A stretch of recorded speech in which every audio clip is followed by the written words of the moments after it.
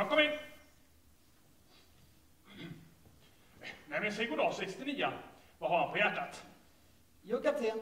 Det är så att eh, jag skulle lämna armén. Va? Ja, det är... Lämna armén? Ja. Varför det? Det är farligt ute. Ah. Ja. Det är sant, kapten. Folk dör. De har vapen. Riktiga vapen. Inte så på TV. Man kan bli dödad vilken sekund som helst. Och, och eh, 51 sa till mig att om du är med i armén och det blir krig så måste du slåss. ja, men det är nog ingen fara i fredstid som dessa ska du se. Ja, för övrigt var ni väl medveten om den risken när ni tog värvning? Ja, kapten. Men det blir stort krig så kan du bli skadad. Men herregud, men driver ni med mig nu? Nej, sant, kapten. Jag såg det själv. De har till och med pansarvagnar ute. Riktiga, inga leksaker. Ja, fröken Tekopp, kan ni kalla hit doktorn är ni snäll? Ja, vi får väl ta en titt i dina papper då, Bertilsson.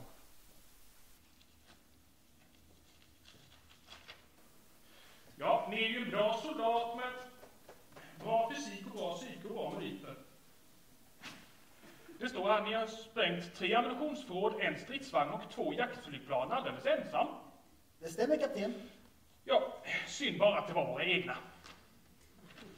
Fallskärmshoppare är ni också ser jag. Ja, det var ju också med till värvning. När bestämde ni er för att bli det? Samma minut som mitt flygplan började brinna, kapten. Ja, jag förstår. Ja, jag har inte haft mycket träning första gången jag hoppade. Det så tur var så en höstack under mig. Ja, Men tyvärr så fanns en högaffel i höstacken. aj då. Men så tur var så missade högaffeln. Ja, vad skönt. Fast eh, tyvärr så missade höstacken med. Aj. Ja, jag tog värvning så sa de till mig, kom med i fallskärmstrupperna. Där kan man alltid jobba om man känner för det. Kom in! Ah, Dr. Fibber. Captain Verlaine? Nå, vad har ni här då för något? Ja, det här 69 Bertilsson. Han vill åka hem. Åka hem? Vad har han för del i detta? En kan dö. Ja, så, så pass. Finns det någon anledning till att inte skulle kunna göra militärtjänsten? Ja, doktor. Massor. Till exempel, jag har dålig hörsel. Jaså? Vad sa du nu? Eh, jag har så dålig syn. Kan ni bevisa det? Ja, doktor. Nej, mitt min fru. Kapten. Kan jag se, kapten? Ja, doktorn skulle höra själv när han samlar runt här inne. Han verkar inte vara vid sina sinnens fulla bruk. Men en bra soldat och goda vitsord. Vi kanske kunde omplacera honom. Ja, han är fallskärmshoppare nu. Ja, 69 Hur är det att vara fallskärmshoppare? Det är lite dragigt, tack. Hur många gånger har ni? Tja, jag har inte hoppat så mycket. Men jag har klippat ut ett par hundra gånger. Vad säger 69 om att bli befordrad? Nja, inte en till korpral i så fall. Jag menar, några vänner vill ha kvar. 69 har aldrig funderat på att gå med i flottan? Jo, jag har funderat på det. Men jag blir sjösjuk. Jag var bara i vatten. Kan ni simma 69 Ja, doktorn. Vad lärde ni er det? I vattnet, doktorn. Jag ser här att du har fått en medalj. Ja, fick ni den? Jo, doktorn. Den fick jag när jag för hela kompaniet. Hur då? Jag sköt kocken. Ja, doktorn hör ju själv. Karin spritt fångad i galen. Galen? Jag? Vad är det för galet med att tro på en värld utan krig? Att vägra att slåss? Att vägra se på hur barn och civila lider för soldaternas makttörst? Presidenter och kungar som inte håller i tyglarna utan ska erövra och ta över? Vad är det för fel på att inte jag håller ett gevär? En mördarmaskin? Vad är det för fel på att vara mänsklig?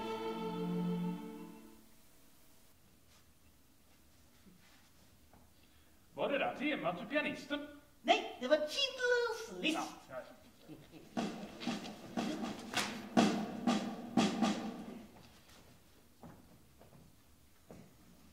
Vad pågår här? Vem spelar ledmotiv borta med vinden? Nej, det var Schindler's list. Aha, ja men då så. Fortsätt. Öse, Öse. Ja, Unge Bertilsson här vill lämna armén. lämnar män! Vad är det för sidsnack? Det är skitfarligt! Skärp dig! Gå till ditt rum! Ja, mamma. Herregud, vilka patetiska små mesar ni är. Dagens militär behöver verkligen hårdare tag. Ett par stadiga kvinnor vid rodret, det skulle göra susen. Ni kan ju inte ens hantera några minigas som klagar. Hur ska ni kunna föra krig? Man får ju kämpas. Tvi!